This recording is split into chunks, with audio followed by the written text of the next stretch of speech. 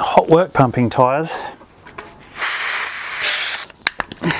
Even the pump's getting hot. See what's happening is I'm compressing the gas. It's going 70 psi, so that's five atmospheres above the atmosphere. So it's going up to six atmospheres. Factor of six, I'm increasing the pressure, so the temperature is going up as well.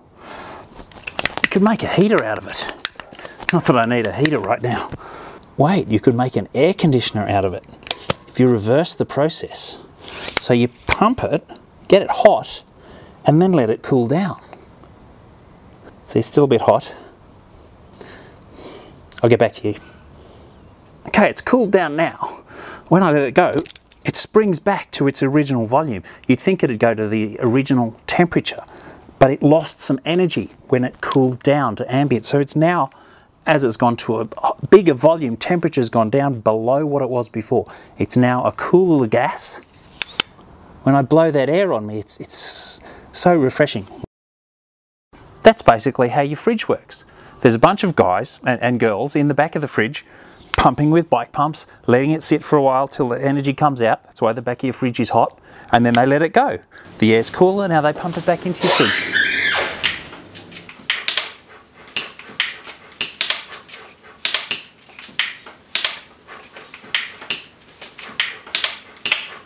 What? Run along then.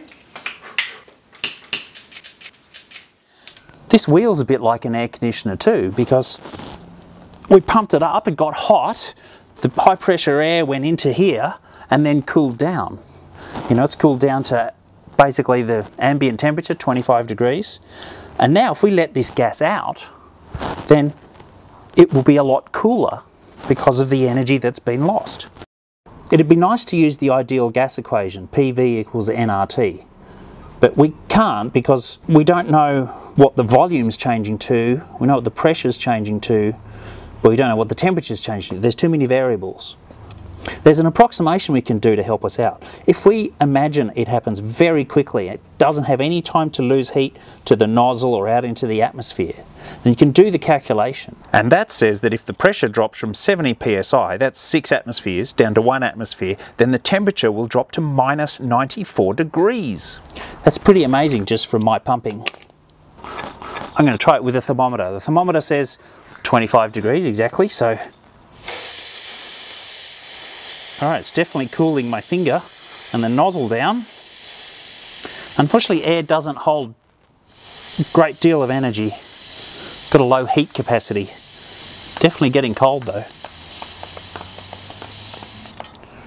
There we go. We're down to 21. So we've cooled it by four degrees. That's nice. Cool the house down. All I need probably is about a thousand tyres to fill the volume of the room. Maybe that's why air conditioning is takes a lot of energy. Oh, I've let my tie down.